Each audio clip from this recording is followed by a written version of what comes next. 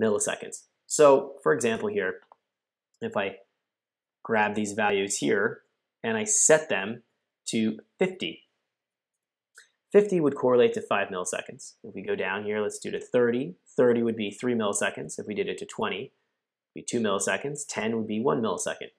Now, that's going to be pretty straightforward, and it seems like it would work the way that is, but different size injectors flow completely different amounts. And they're going to have completely different injector pulse widths associated with that flow rate. So for example, at 2 milliseconds on a 200 cc injector, we're going to be delivering a completely different amount of fuel compared to a 2000 cc injector at a 2 millisecond operating uh, position or point.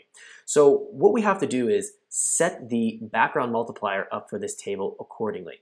If we can see here, as we're uh, looking at the table, if I go from a value of 10 to a value of 11, we can see that's going to go and change my injector pulse width here to 1.1, and I go to 12, it's 1.2. Um, what we're going to be finding is that'll be okay to control um, a really small injector, but if we're trying to control a really large injector, we're going to run out of room really fast because we want to be able to have very small changes here for the numbers in the table. We want to have more resolution.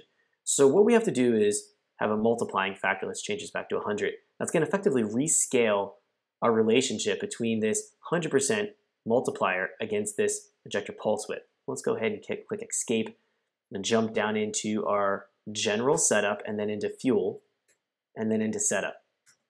And what we're going to be finding is this injector scaling factor is going to be what that background multiplier is. So again, 100% multiplier is equivalent of 10 milliseconds. And if we change that value up or down, it's going to have that linear relationship to this uh, 10 millisecond range.